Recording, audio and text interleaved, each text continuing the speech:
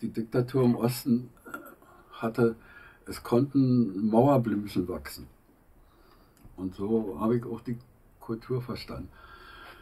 So. Und aus, aus diesem Leben heraus, mit Keramik und äh, Musik, kam irgendwann mal Katzer, das war so der Star-Komponist in der DDR, der war zurzeit mit Rose Gorks, eine Malerin, liiert. Die, die kamen zu mir und sagten, Leo, du kennst doch äh, im Underground so viele Leute. Äh, äh, wir suchen neue Musik. Ja. Also Katz hat sehr experimentell gearbeitet, also hat sich darin verstiegen, selbst auf dem Schrottplatz Klänge zu suchen und, und zu machen. Und, aber letztendlich, und das haben sie eingesehen, blieb alles sehr akademisch. Weißt du? Also es, es war nicht, äh, also es wurde nur ein Teil des Musikalischen eigentlich befriedigt, ja? aber nicht so die Begeisterung. Und deswegen dachten sie, ich könnte jetzt irgendwas finden in diesen Underground-Kreisen, wo ja auch laut Lehrbuch alle Inspirationen entwickelt.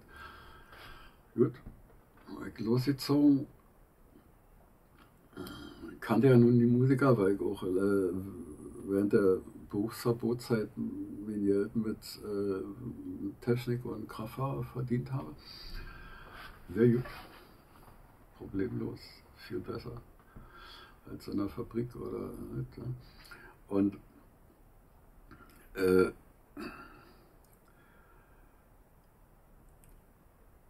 ich habe versucht, irgendwie mit den Leuten zu reden und könntest, äh, wir müssen mal was anderes machen und so. Und jeder Einzelne hat es auch irgendwie versucht, aber letztendlich äh, äh, was auch nicht das. Ja? Und bis ich auf, auf eine gestoßen bin, der, also erzählte so von dem, was ich vorhabe und was ich denke. Der hörte ja nicht lange zu, der dachte, komm, wir müssen anfangen. Ich, ich kein Musiker, ich hab, äh, ist egal, ist egal, komm, wir machen einfach. Und dann haben wir Tonband genommen, Technik war ja kein Problem.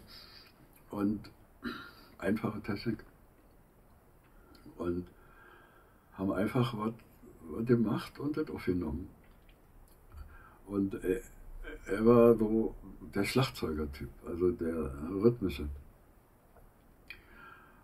Und auch sehr, sehr kreativ. Und wir hatten sofort eine Aufnahme, die geil klang. Ja ob, ob da man irgendwas gemacht habe, aber, aber irgendwie kam da was zusammen. Und jedenfalls hatte ich, hatte ich Feuer gefangen und dann wusste ich auch, das ist der Weg. Nicht hier, komm, mach mal, sondern wir machen. Ja? Und, und äh, in der Musikszene war dann äh, so üblich, also jeder kannte ja jeden und so.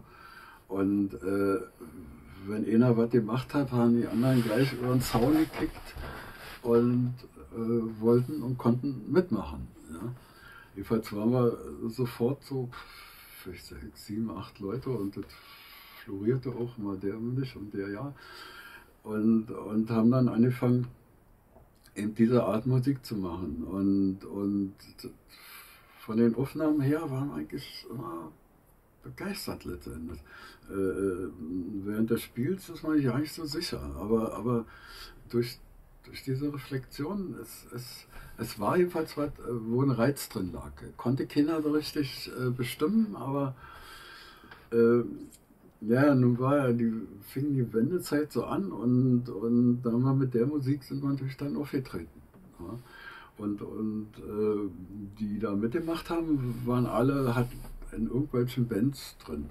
Und die Bands haben auch ziemlich zusammen äh, gehalten. Ja. Also auch Rivalitäten, aber, aber äh, in zunehmendem Maße immer weniger. ja, dann hat man doch verstanden, dass man zusammen was machen muss. Also jeder, der ein neues Instrument hatte, alle kickten und machten und, und ließen sich inspirieren davon.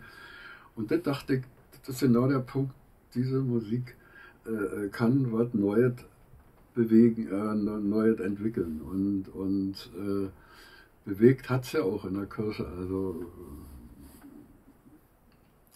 wir hatten Auftritte, die Leute haben es angenommen, obwohl es fremd war erstmal. Ja? Also es war eben nicht wie sonst der Blues von André oder von Trötsch oder sondern es, es war was anderes und es, es hatte etwas losgelassen, laufen lassen und, und, und das war zu der Zeit auch angesagt.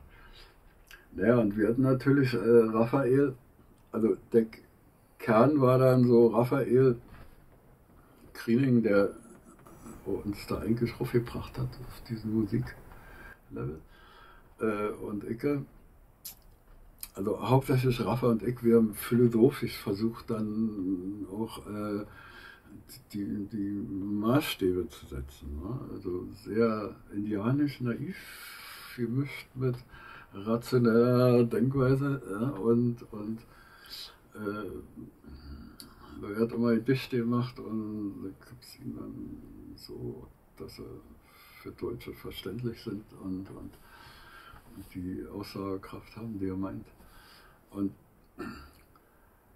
ja, und dann haben wir Raphael im Westen abgeschoben. Das heißt, wir sind dann alle hinterher. Also das heißt, Greening ist hinterher, ich bin hinterher.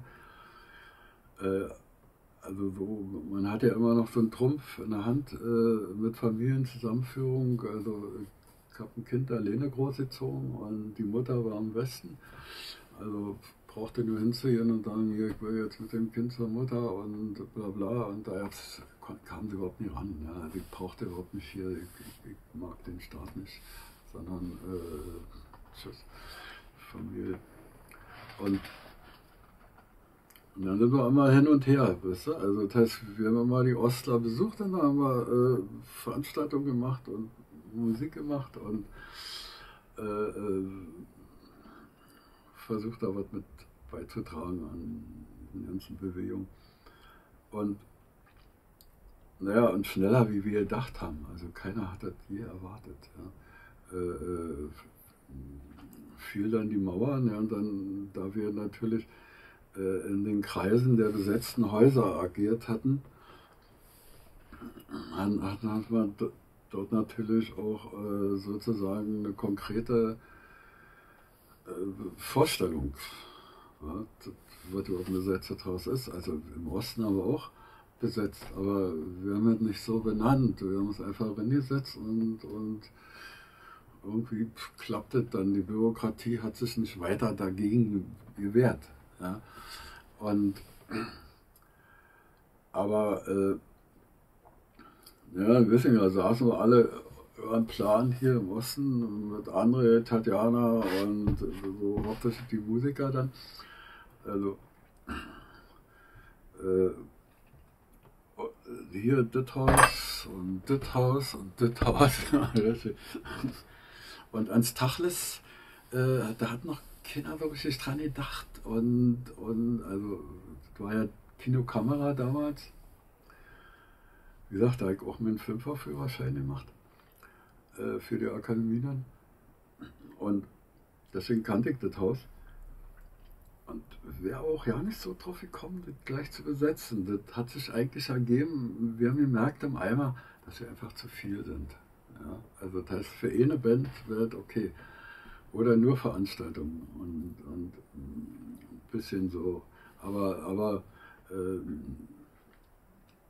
so drei, vier Bands dort und es gibt nur Kappelei. Und, und jedenfalls äh, äh, kamen kam wir dann auf die Idee, der Tachlis zu besetzen, aber vom Westen aus. Das heißt, äh, äh im Osten hatten wir noch ja nicht Tachlis. Das, weißt du, äh, war noch so ein bisschen das Wohnzimmerdenken. Ja? Also so ein großes Objekt äh, konnte ich einfach keiner vorstellen, weil, weil davor immer ausgeschlossen waren. Ja. Und, aber, aber im Westen ging es ja schon, äh, wir hatten eher, eher so richtig linksautonom, der dann auch in die Mainzer gegangen ist, äh, in Dieb, äh, Raphael und eben Krischer, unsere Band. Ja? Und, wir haben dann einen Plan gemacht, wie wir, wie wir das besetzen und wann wir das besetzen und, und am meisten Druck haben eben die Western, macht das endlich und wisst ihr so, ich hätte da noch ein bisschen gewartet, aber, aber okay. Haben wir, haben wir uns zusammengetan mit den Ostmusikern und dann spektakulär, so mit Feuerwehr und, und Zeitung auch vorher angerufen. Und, und da ging es dann mal ganz kurz, wie, wie nennt man das? Und äh, dann fing gleich welche an mit, mit äh, Kinokamera, naja, das ist zu wenig. Das, das, das, das, und dann gedacht, Tachles, nennt das Haus Tachles. Und, und natürlich und dann gleich in die Zeitung geschrieben und das war so die Geburtsstunde. Aber unsere Band, wir haben uns vorher schon Tachles genannt. Ja, das heißt, wir saßen mal zusammen in der Kneipe und, und andere, sag mal, wie können wir das nennen? Das, das, das ist eine Musikrichtung. Und andere, der doch so die Texte gemacht, also der hat, hat so ein Sprachfeeling äh, gehabt. Ja? Also er konnte so be bestimmte Dinge äh, äh, beschreiben, dass er A, witzig klang, aber unheimlich zutreffend. Und, und, und irgendwann sagt er, was wir machen, ist Tachlis. Jeder sagt frei und, und äh, ehrlich raus, ohne Umwege. Naja, und da haben wir uns Tachlis genannt und, und äh, da wir das Haus besetzt hat, äh, haben, haben wir natürlich dann auch den Namen Tachlis. Ah, übrigens, wir können